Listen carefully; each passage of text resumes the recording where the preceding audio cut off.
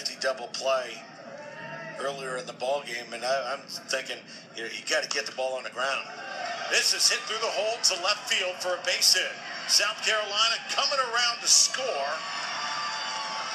And here comes the second run, and he is in there.